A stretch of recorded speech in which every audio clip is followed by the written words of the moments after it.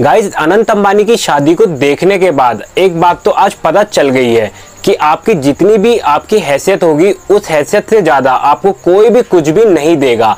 हालाँकि अंबानी की शादी से 40 दिन पहले ही उनकी सोसाइटी में भंडारा किया गया था, जहाँ पर उनकी सोसाइटी के लोगों ने 40 दिन तक लगातार अनंत अंबानी का शादी का वहाँ खाना खाया और साथ ही साथ 50 गरीब लड़कियों की शादी भी कराई गई। लेकिन जो सच है, वो तो सच ही है। और आज हम ऐसा इसलिए कह रहे हैं क्योंकि अनंत अंबानी की शादी में विदेशों से और कई जगहों से बहुत से मेहमान बुलाए गए। लेकिन कुछ खास मेहमानों को दो करोड़ की घड़ी एज ए गिफ्ट भी दी गई। तो आप इस बात से ये समझे कि जिनकी दो करोड़ की घड़ी खरीदने की हैसियत थी, उनको एज अ गिफ्ट दो करोड़ की घड़ी दी गई। लेकिन हिंदुस्तान टाइम्स के एक आर्टिकल में ये बताया गया है कि अंबानी ने अपने जो उनके एम्प्लॉयज़ थे, उनको हल्दीराम की आलू भुजिया और कुछ मिठाइयाँ दी गई। तो गाइज़ इससे ये बात समझ आती है कि जो लोग हल्दीराम की नमकीन और मिठाई के काबिल थे, उनको हल्दीराम की नमकीन और मिठाई दी गई।